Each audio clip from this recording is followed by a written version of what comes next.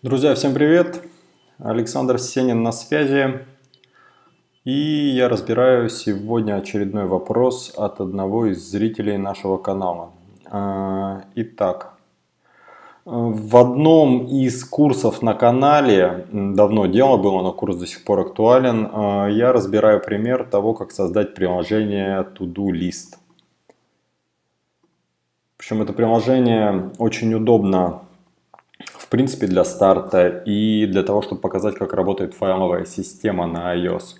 То есть там такая интересная структура. У каждого айтема, вот у каждого to-do айтема можно создать под бесконечное количество э, под этих айтемов. То есть у каждой задачи можно создать бесконечно много подзадач, у каждой подзадачи создать еще бесконечно много под подзадач и так до бесконечности.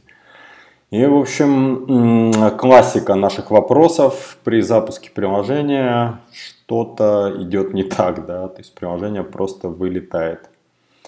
Давайте запустим, посмотрим, как это работает. Так, симулятор наш. Шлеп. А, так. Запускается приложение. Вот сразу что-то вылетело, да? Угу. Ну, понятно, значит, unexpected found new. Значит, то есть по ключу из комплит, из комлет, комлет, комлет. У нас ничего нет. Ну, во-первых, ключ записан с ошибкой. Я уверен, что он должен называться из комплит. При инициализации объекта sbool. Так, давайте сейчас запустим, посмотрим, что у нас будет. Так, запускаем. Бах. Теперь у нас fatal error вот тут.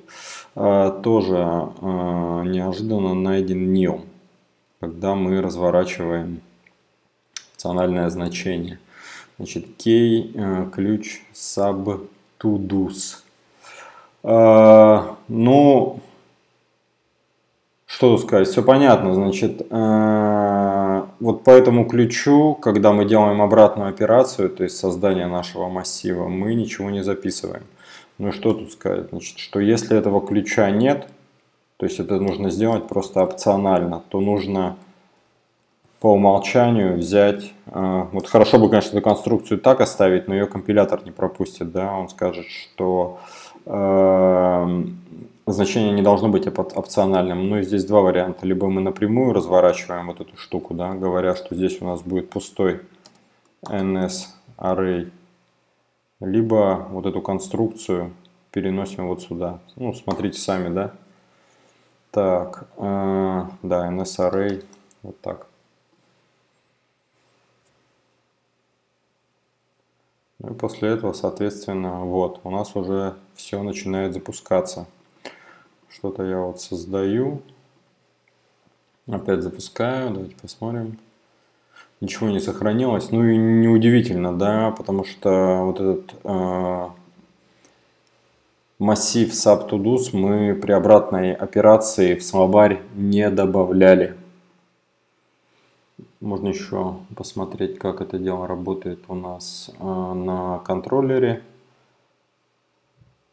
Ну да, тут достаточно тоже все просто, тут все понятно и все правильно. А вот единственное, да, единственное, что допилить нужно, это модель. То есть вот здесь как раз развернуть наши sub-items в отдельный массив NSArray и добавить его здесь при инициализации словаря как еще один ключ со значениями. Вот, и тогда у нас все будет нормально сохраняться. А, окей, друзья, а, если какие-то вопросы остались, то welcome в комментарии.